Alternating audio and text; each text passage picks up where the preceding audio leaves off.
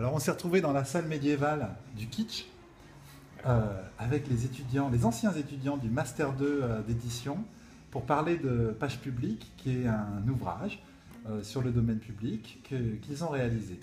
Et donc on s'est dit que le mieux, bah, c'était de leur donner la parole et puis de leur poser éventuellement quelques questions pour qu'ils nous racontent un peu qu'est-ce que c'est que, qu'est-ce que que ce bouquin. Page publique, donc c'est un, c'est avant tout la, la réalisation concrète d'un, ouvrage dans le cadre de notre euh, master 2 à, l'université de Caen. Euh, c'était vraiment euh, approcher le livre de manière concrète. Nous avons créé un, livre à partir de, fragments du domaine public, d'artistes qui sont entrés dans le domaine public pour 2014, euh, en collaboration avec des, personnes travaillant autour de la question du domaine public, des personnes comme Isabelle Attard, qui est députée, qui est très intéressée sur, le- sur la question, euh, des gens comme Lionel Morel, euh, donc, euh, qui ont bien voulu nous donner des, des textes. euh, voilà. Il faut dire que le livre est constitué de trois parties. Ouais. Donc une partie euh, avec euh, le travail de savoir commun sur le calendrier de l'Avent.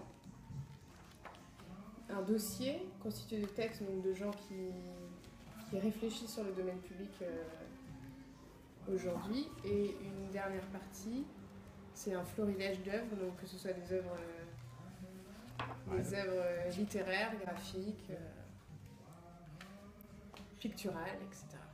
D'accord. Alors qu'est-ce que vous avez appris sur le domaine public en travaillant dessus? Que, ça- que c'est c'est une question compliquée aujourd'hui, puisque la- c'est un terme qui est encore défini comme en, en creux dans la loi.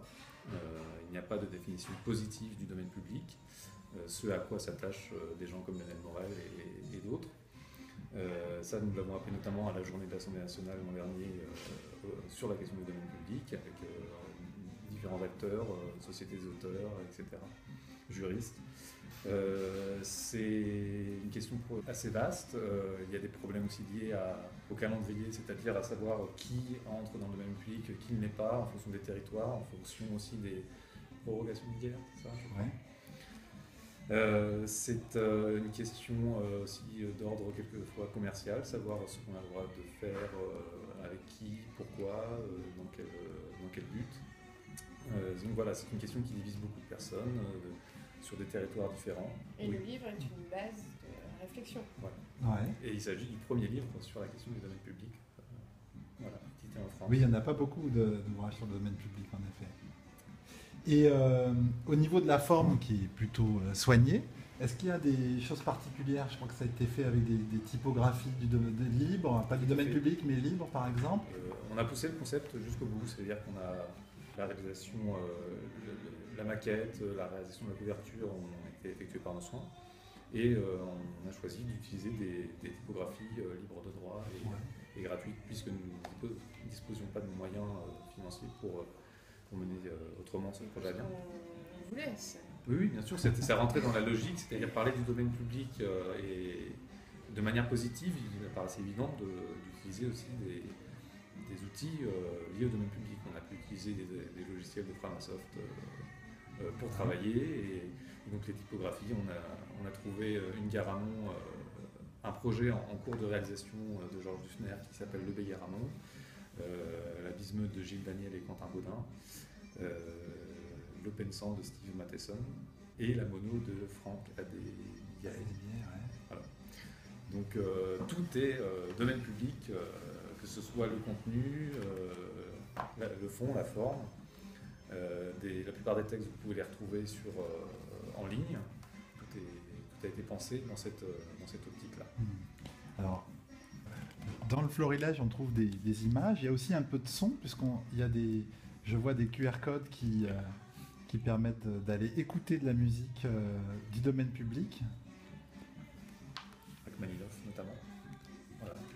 Euh, oui, c'est le domaine public, ça recouvre des choses matérielles, immatérielles, euh, notamment Bah, toute la immatérielles, création. toute la création. Donc effectivement, le livre, euh, euh, rendre la musique par le livre, c'était compliqué. On a trouvé cette petite astuce pour renvoyer vers un site, notamment Internet Archive, enfin ce, ce genre de choses qui permettent aujourd'hui de- d'accéder à des contenus libres de droit et, et pleinement dans le domaine public.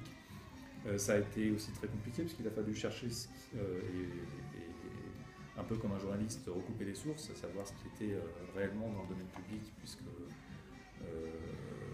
il y a des choses qui ont été rachetées par des gens euh, qui ont été euh, il y a- ce qu'on appelle le copy fraude donc euh, une sorte de propriété intellectuelle mise sur le domaine public donc il fallait qu'on fasse aussi très attention à ne pas pouvoir être attaqué sur ce, terrain. Et donc on a vérifié que toutes les images que nous avons utilisées pour, pour ce livre euh, soient euh, véritablement inscrites dans le public. Au, au bilan, donc le livre, il a l'air d'exister. Là, je vois qu'il est imprimé. Le livre Vous pouvez existe. nous expliquer un peu Oui. comment on fait un livre imprimé Comment on arrive à un livre imprimé Eh bien, et ce qu'il devient comment on arrive à faire un livre imprimé Il faut beaucoup de travail, il faut des gens qui permettent, euh, qui, qui- qui ont des structures comme CF Édition, qui, chez qui le livre est, est édité, Euh, puisque Nicolas Taffin, notre professeur, est aussi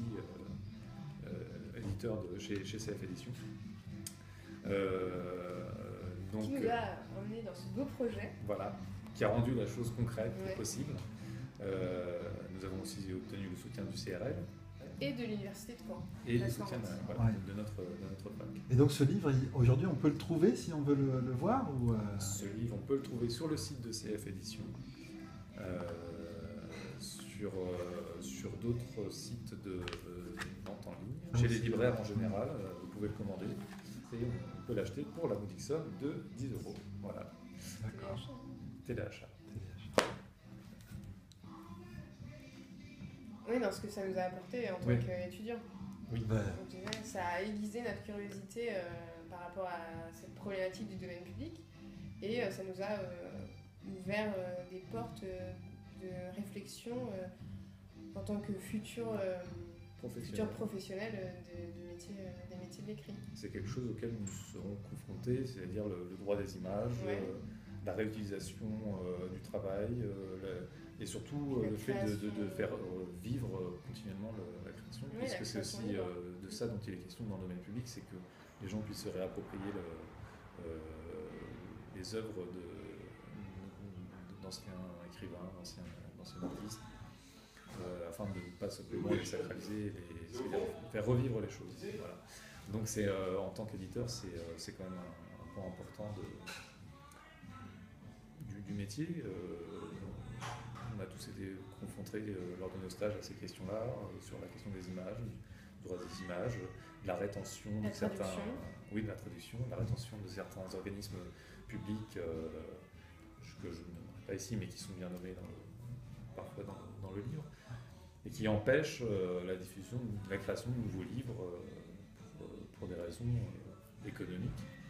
Et voilà, donc c'est- aussi ces questions-là qui, C'est militant. voilà, c'est militant, c'est surtout très concret, c'est-à-dire vraiment aborder le livre en en, en faisant un, et pas seulement en le théorisant, et, et voilà, tout simplement.